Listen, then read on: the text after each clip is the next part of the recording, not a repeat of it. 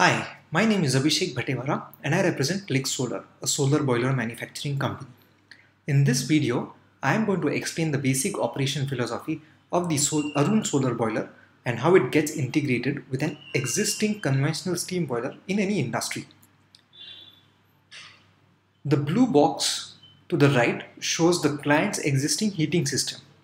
It consists of a boiler which consumes fuel such as furnace oil, diesel, liquefied petroleum gas, etc. to heat water to steam of desired pressure and temperature. This steam is then fed to a common header which is further fed to various processes or applications in the plant. The basic aim of the control mechanism in the scheme is to deliver steam to the existing boiler header and then deliver excess steam to the storage tank. This stored energy can then be used during non-solar hours. The Arun solar concentrator system automatically tracks the sun from morning to evening.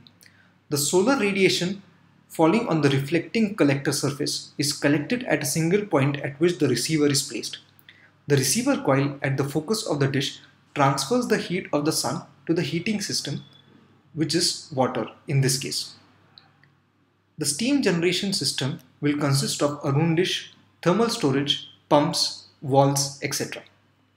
Once the system starts generating steam, the pressure in the line will start increasing. Once this pressure matches the pressure in the existing boiler header, a valve will open and steam will be delivered to the common header.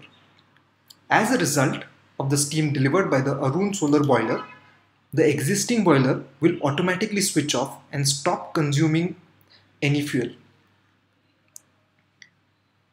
Now, if there is a reduction in steam usage by the process due to a holiday, lunch break, end of batch or any other reason, the upstream pressure will increase causing a valve to open thereby delivering steam to the storage tank. This process will continue whenever the sun is available. When the sun is not available, steam will first be generated from the storage tank, thereby saving the fuel that would have otherwise been consumed by the existing boiler. As a result, the pressure in the storage tank will reduce.